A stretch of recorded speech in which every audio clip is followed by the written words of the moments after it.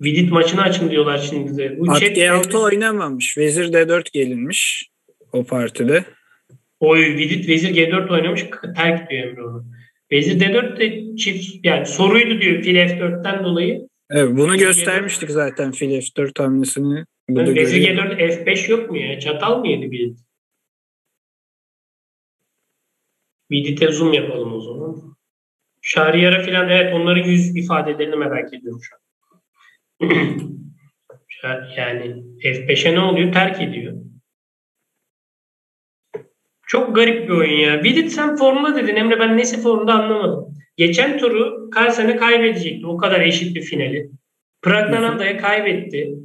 Kime böyle ucundan döndü? Birkaç adama böyle ucundan kurtardı sanki maçları. Başka ben öyle çok fazla hatırlıyorum. Raporta biraz kötüydü. Ama hani rakipleri hata yapınca hemen onu değerlendirebiliyordu yani partilerinde. Van Forest da kaybetti. Bu adam biraz iyi başladı sadece Emre bence. İyi başladı. Bir de bence kuvvetli oyunculara karşı gerekli yani mücadele gücünü iyi koyuyordu. Ben Deniz'le de yapmış ya, ilk yaptığım yayında söylemiştim. Ben Vidit'in hani bu kadar çok puan alabilmesini çok şaşırdım demiştim.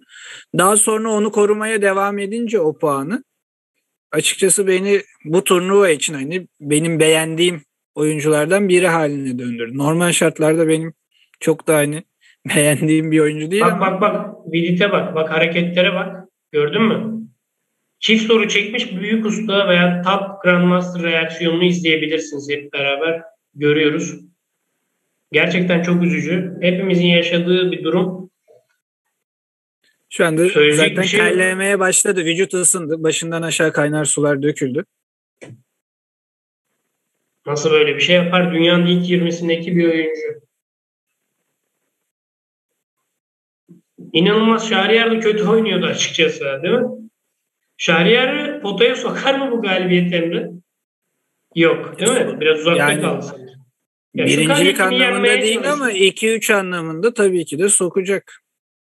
Kariyekini yenmiş olsa bak Shankland 2 saatte yendi. 2 saatte olmadan yendi. Sen de oynasan bir şeyler. Neyse. Şahriyar'a bu turnuvada benim bildiğim hani bir Kalsen çok ters geliyor. Gili de bazen ters geliyor ama diğer oyuncular Caruana ile bilmiyorum skorlarını. Giri biraz ters geliyor diye hatırlıyorum. Ama onun dışında of ki Allah'ın bilsin hareketlerine bak. Gerçekten çok üzücü. Bu kadar basit bir şey nasıl yaparım diye herhalde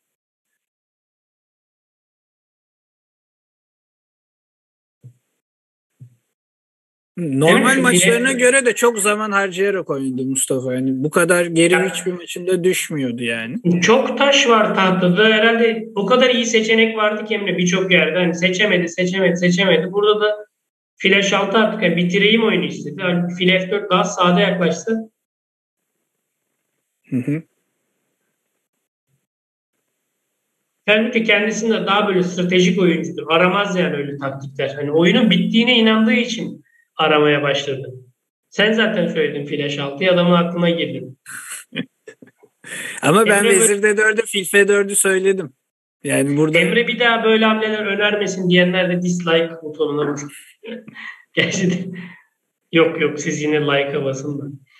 Emre kötü hamleler önerme lütfen. Adama perişan oldu. Şimdi üzerine videolar, şarkılar, her türlü editler gelecek çocuğun.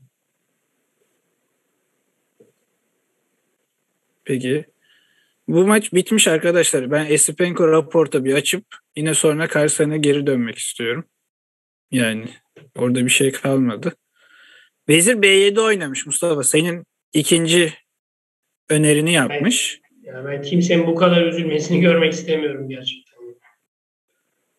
Hangisi? Bir, bir daha bakayım bir saniye. Esipenko raport açındı. Sen ha, kale C1, kale C7 ve Vezir B7 demiştin. Biz Vezir B7'ye hiç bakmamıştık. Vezir B7'ye E4 oynamış. Hemen Vezir'in orada olmasından